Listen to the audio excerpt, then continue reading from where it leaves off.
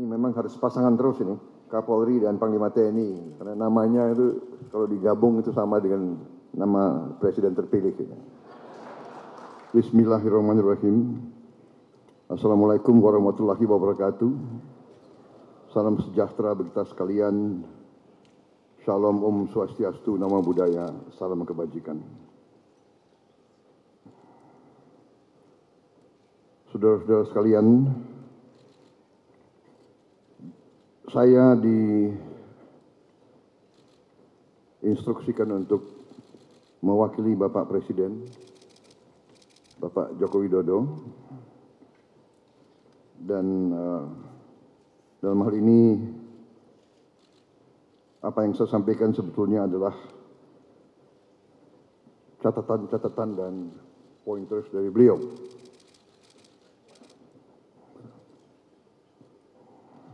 Saya kira Bapak Presiden ternyata sedang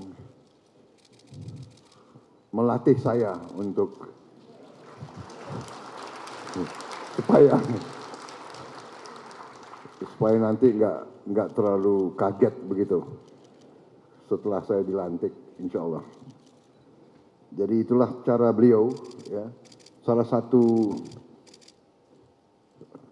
pelajaran kepemimpinan yang kita terima adalah seorang pemimpin yang baik adalah pemimpin yang legowo.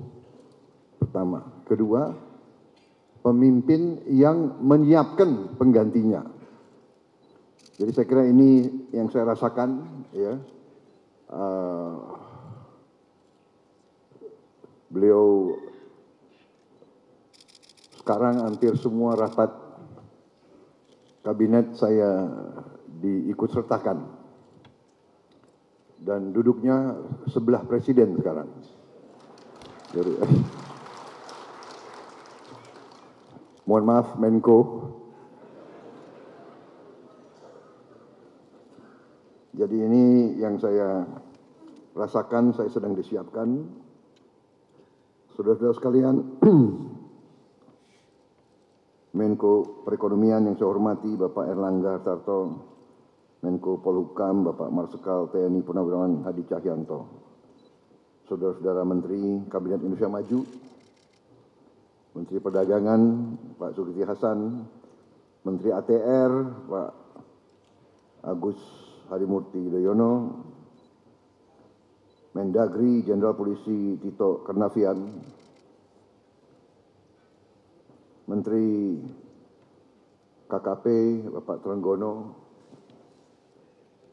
Menteri Pertanian Pak Amran Sulaiman, Menteri SDM Bapak Arifin Tasrif,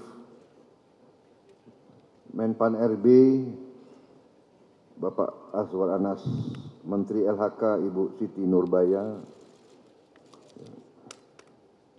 Sekretaris Kabinet Bapak Pramono Anung, Menteri Perhubungan Bapak Budi Karya, Panglima TNI Jenderal TNI Agus Subianto, Kapolri Jenderal Polisi Listio Sigit Prabowo. Ini memang harus pasangan terus ini. Kapolri dan Panglima TNI. Karena namanya itu kalau digabung itu sama dengan nama presiden terpilih. Tapi ini bukan rekayasa. Hadir juga KSAL, para pimpinan lembaga negara,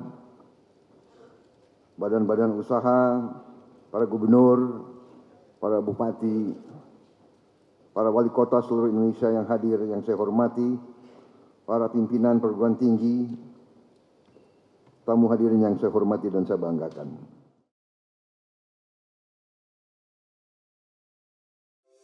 Di antara banyak sumber informasi, kami layak dipercaya karena kami menggali lebih dalam, berpihak pada kebenaran, berpegang pada data dan fakta agar layak Anda jadikan referensi. Kompas TV, independen, terpercaya.